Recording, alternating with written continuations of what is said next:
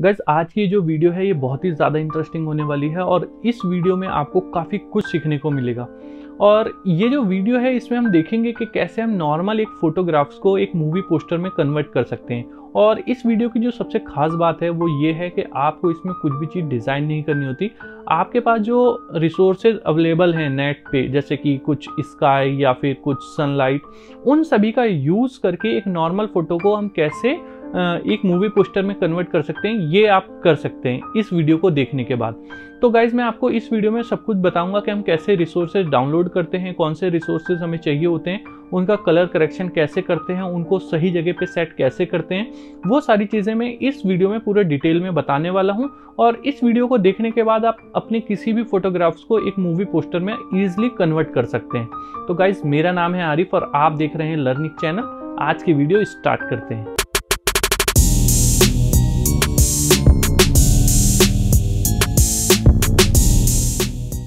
तो गाइज़ मैं आ चुका हूँ फोटोशॉप में और यहाँ पे मेरे पास ये इमेज है एक, जिसमें मैंने इसका बैकग्राउंड रिमूव करके रखा हुआ है, ठीक है? बैकग्राउंड मैंने ऑलरेडी रिमूव कर दिया। अगर आपको देखना है कि बैकग्राउंड कैसे रिमूव करना है तो मैंने इस पर ऑलरेडी दो वीडियो बनाई है, जिसका मैंने लिंक डिस्क्रिप्शन में दिया है।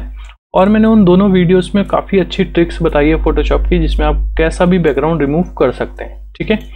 तो इसका ऑलरेडी मैंने बैकग्राउंड रिमूव किया हुआ है। अब जो मुझे पोस्टर बनाना है, उसके लिए मैं एक नई फ़ाइल ले लेता हूँ। फ़ाइल में जाऊँगा न्यू और यहाँ पे जो मैं साइज़ ले रहा हूँ, वो ले रहा हूँ 1800 hundred by twenty and resolution 300 hit करता हूँ ओके तो मेरे पास यहाँ पे एक फ़ाइल ओपन हो जाती है, बन जाती है, ठीक है? सबसे पहले मैं अपनी इस इमेज को यहाँ पे ड्रैग करके लेकर के आ जाता हूँ और इसको कुछ यहाँ पे ऐसे सेट करता हूँ। कुछ ऐसे, ठीक है? अब मुझे क्या करना है कि सबसे पहले मुझे इसमें बैकग्राउंड एक डालना है, ठीक है? तो बैकग्राउंड के लिए यहाँ पे अगर आप नेट पे सर्च करेंगे स्काई जैसे कि अगर मैं करूँ पिंक स्काई ठीक है? तो आपको यहाँ पे काफ़ी सारे ऐसे स्काई मिल जाएँगे, आप कैसे भी कर सकते हैं, या फिर आप रोमांटिक स्काई करके भी डालेंगे तो भी कुछ इस टाइप के स्काई आपको मिल जाएँगे, ठीक है? तो यहाँ पे मैंने ऑलरेडी एक स्काई डाउनलोड करके रखा हुआ है, जिसको मैं यहाँ पे बैकग्राउंड में यूज़ करने वाला हूँ, ठीक है? तो अब ये यहाँ पे हम जो मूवी पोस्टर बना रहे हैं, वो एक लव स्टोरी टाइप का मूवी पोस्टर बना रहे हैं तो इसमें हम लोग कलर्स का ध्यान रखेंगे कि हम हार्ड कलर ना यूज़ करके एक सॉफ्ट कलर यूज़ करेंगे, थोड़ा पिंक यूज़ करेंगे। तो इसीलिए मैंने ये वाले बैकग्राउंड यूज़ किया है, ठीक है? तो मैं इसको थोड़ा बड़ा कर लेता हूँ और इसको यहाँ पे थोड़ा सेट करता हूँ। कुछ ऐसे। तो ये यहाँ पे सेट तो हो रहा है, लेकिन आप देखेंगे कि इस साइड में ये जो लड़का है, इसके कपड़े जो हैं वो ब्लू हैं तो यहाँ पे स्काई भी ब्लू है। तो मैं इसको थोड़ा फ्लिप कर देता हूँ तो कंट्रोल टी करता हूँ राइट क्लिक करता हूँ। और इसको फ्लिप हॉरिजेंटली कर देता हूँ। तो ये करने के बाद ये मेरा इस साइड हो जाएगा। और आप देख सकते हैं कि अब ये काफ़ी अच्छे से यहाँ पे ब्लेंड हो रहा है। मतलब कि जो पिंक स्काई है वो ब्लू साइड में है और जो ब्लू है वो वाइट साइड में। तो काफ़ी अच्छा यहाँ पे दिख रहा है। ठीक है? अब मुझे क्या करना है? सबसे पहले ये जो मेरी इमेज है, इसको भी हल्का पिंक शेड पे मैं लेकर के जाऊँगा। ठीक है? तो उसके लिए मैं इसमें थोड़े से कलर करेक्शन करूँगा लेवल्स कलर बैलेंस या ब्राइटनेस कुछ भी। तो मैं सबसे पहले इसमें हल्का सा लेवल इसका इंक्रीज कर लेता हूँ। इसके लिए मैं यहाँ पे ये को मास्क करता हूँ, इधर रख लेता हूँ। यहाँ पे मैंने क्लिप मास्क कर दिया और इसका हल्का सा यहाँ पे लेवल बढ़ा देता हूँ ऐसे। थोड़ा सा ही मैंने इसमें चेंज किया, ठीक है? अब इसके बाद यहाँ पे जो है वो कलर बैलेंस है। तो कलर बैलेंस में मैं क्या करूँगा? इसका हल्का सा यहाँ पे पिंक बढ़ा दूँगा। ठीक है, इसे मेजेंटा की साइड में लेकर के जाऊँगा। तो आप देख सकते हैं कि ये जो अभी नॉर्मल था, अगर मैं इसकी आइस क्लोज कर दूँ तो ये कुछ ऐसा था, लेकिन जैसे मैं इसको मेजेंटा की साइड लेकर के गया तो आप देख सकते हैं कि इसमें वो टिंट आने लगा थोड़ा सा पिंकिश वाला। ठीक है? तो आप इसको अपने अकॉर्डिंग सेट कर सकते हैं। मैं यहाँ पे फिर आपको बता दूँ कि मैं यहाँ पे आपको टेक्निक बता रहा हूँ, आप सेम टू सेम फॉलो ना करें, आपकी इमेज के अकॉर्डिंग ये हर बार चेंज होगा। ठीक है? तो ये मैंने यहाँ पे सेट कर लिया है। अब इसके बाद जो है, मैं सिंपली इसमें टेक्स्ट लिखूँगा और इसके बाद कुछ जो एलिमेंट्स हैं उनका यूज़ करूँगा। तो सबसे पहले मैं एक एलिमेंट्स का यूज़ कर लेता हूँ। तो अगर मैं यहाँ पे सर्च करूँ फ्लावर ब्रांचेस कुछ ऐसे तो यहाँ पे आपको काफ़ी सारी ये ब्रांचेस मिल जाएँगी, जिसमें मैंने ऑलरेडी पी एक डाउनलोड करके रखे हुए हैं, जो कि ये है। मैं इसका यूज़ कर रहा हूँ और इसको सिंपली मैं थोड़ा छोटा करके यहाँ पे लगा देता हूँ। ठीक है? कुछ यहाँ पे सही लग रही है। ठीक है? इसकी एक और कॉपी करता हूँ ऑल्ट के साथ में और इसको थोड़ा सा मैं यहाँ से ब्लर कर दूँगा। ये कुछ ज़्यादा ब्लर हो गया तो इसको थोड़ा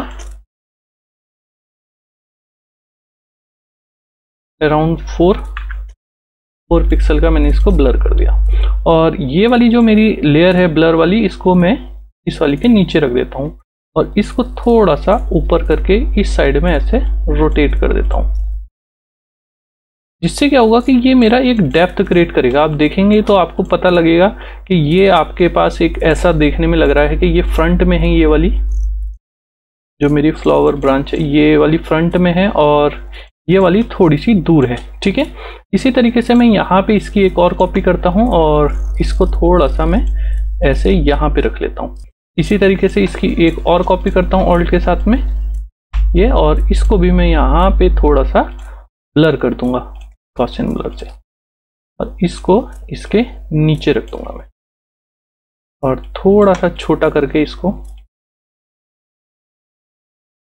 जिससे कि ये सिर्फ़ मुझे डेप्थ देखने को मिले इसमें। पता लगे कि हाँ कोई चीज़ पीछे की साइड है तो इसलिए मैं उसको हल्का सा ब्लर कर रहा हूँ। तो आप देख सकते हैं कि यहाँ पे काफ़ी एक फील सा आने लगा है पोस्टर का। जैसे ही मैंने यहाँ पे ये कुछ एलिमेंट्स का यूज़ किया। अब मैं इसमें सिंपली यहाँ पे टेक्स्ट लिखता हूँ तो टेक्स्ट टूल लेता हूँ और यहाँ पे मैं लिखता हूँ सिंपली लव और इसके लिए जो मैं फॉन्ट यूज़ कर रहा हूँ, वह है क्वेकर काफ़ी अच्छा फॉन्ट है ये ये। और इसको यहाँ पे कर देता हूँ मैं थोड़ा। बड़ा, ठीक है? मैं एल कर देता हूँ कैपिटल, ये, और जो इसका कलर है उसको कर देता हूँ मैं यहाँ से वाइट इसका साइज़ कर देता हूँ थोड़ा सा और बड़ा, ठीक है? ऐसे कर देता हूँ, ये अब देखने में काफ़ी सही लग रहा है। और इसको थोड़ा सा और बड़ा कर देता हूँ, ताकि ये हल्का सा लीफ के ऊपर हो, ठीक है? अब यहाँ पे मैं लिखता हूँ, इसकी एक और कॉपी लेता हूँ ऑल्ट के साथ में, और यहाँ पे लिखता हूँ फॉर एवर ये और इसका साइज़ कर देता हूँ मैं यहाँ पे थोड़ा छोटा, ठीक है? और इसको मैं सेट करूँगा कुछ यहाँ। अब आप दोनों को पकड़ के थोड़ा सा यहाँ पे सेट कर सकते हैं। तो आप देखेंगे कि अब ये देखने में, जैसे ही मैंने इस पर नाम लिखा तो देखने में अब इसमें फील आने लगा है कि ये एक मूवी पोस्टर बन रहा है और थोड़ा सा रोमांटिक या फिर थोड़ा लव स्टोरी वाला है ये, क्योंकि कलर्स और जो फॉन्ट स्टाइल हमने यूज़ करी है, वो इसी टाइप की करी है। ऊपर एक और लाइन लिख देता हूँ मैं यहाँ पे, और यहाँ पे लिख देता हूँ जैसे सिंपली और इसको यहाँ से कर दूँगा मैं थोड़ा बोल्ड ठीक है? और इसको उठा करके मैं रख देता हूँ यहाँ पे, और साइज़ कर दूँगा यहाँ से अराउंड इसका टेन और यहाँ से इसकी स्पेसिंग थोड़ी सी खोल दूँगा। ये। तो आप देखेंगे कि अब आपको यहाँ पे थोड़ा सा देखने में फील आने लगा है कि ये एक पोस्टर बन रहा है, ठीक है? अब मैं सिंपली यहाँ पे नेट पे जाऊँगा और यहाँ पे एक इफ़ेक्ट को सिलेक्ट करूँगा सर्च करूँगा, जिसको बोलते हैं हम बोके इफ़ेक्ट तो आप यहाँ से इस टाइप के आपको लाइटिंग बैकग्राउंड्स मिल जाएँगे, आप कोई भी डाउनलोड कर सकते हैं। तो जैसे मैंने ऑलरेडी एक डाउनलोड करके रखा हुआ है ठीक है?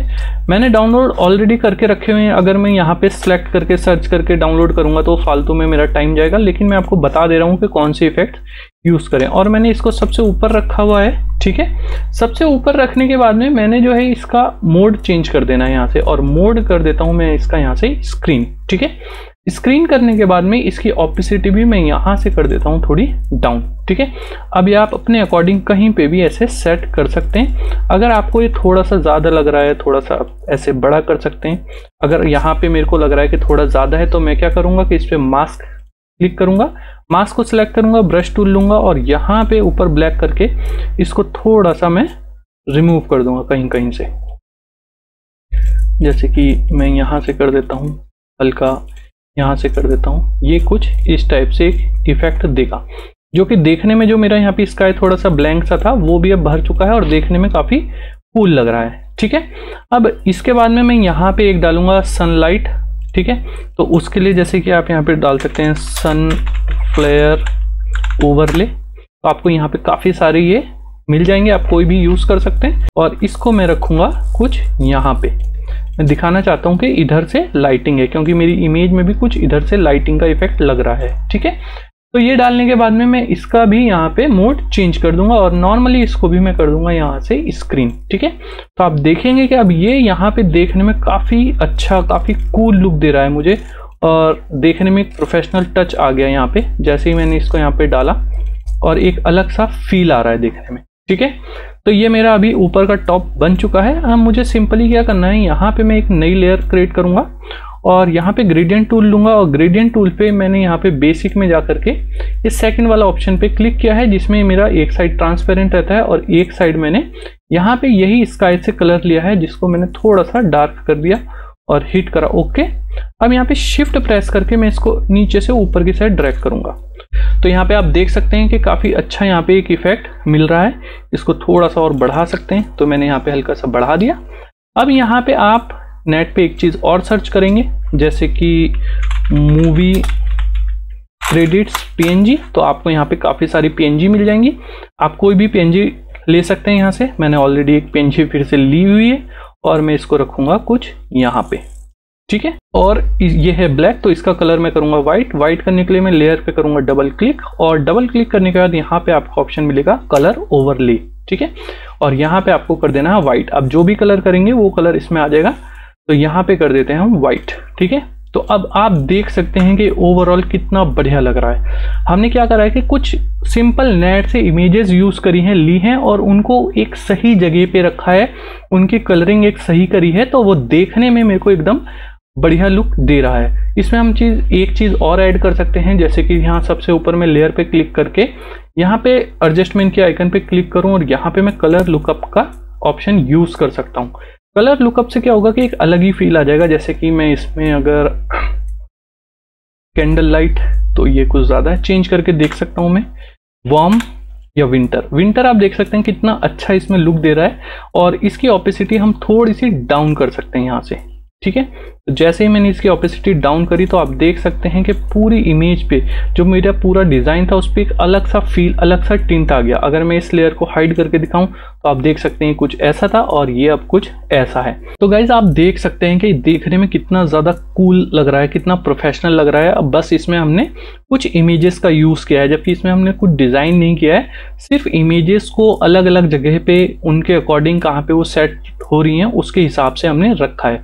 और जिसको रखने के बाद, जिसको सेट करने के बाद हमारा डिज़ाइन देखने में काफ़ी प्रोफेशनली लग रहा है। तो आई होप गाइज़ आपको आज की वीडियो पसंद आई होगी और आपने देखा कि हमने कैसे कुछ इमेजेस का यूज़ करके एक नॉर्मल फोटोग्राफ्स को एक मूवी पोस्टर में कन्वर्ट कर लिया। और इस टाइप की वीडियोज़ में लाता रहूँगा। जिसमें मैं आपको एडवांस तरीका भी बताऊँगा कि हमारे पास कोई अगर नॉर्मल फ़ोटो है तो हम उसको कैसे और मूवी पोस्टर में कन्वर्ट कर सकते हैं। तो ये आज की जो वीडियो थी, एक बेसिक वीडियो थी, इसमें मैं एडवांस वीडियो भी लाता रहूँगा। तो अगर आपको आज की वीडियो पसंद आई है तो प्लीज़ वीडियो को लाइक करें चैनल को सब्सक्राइब करें। मिलते हैं अपनी नेक्स्ट वीडियो में एक नए टॉपिक के साथ। तब तक के लिए थैंक यू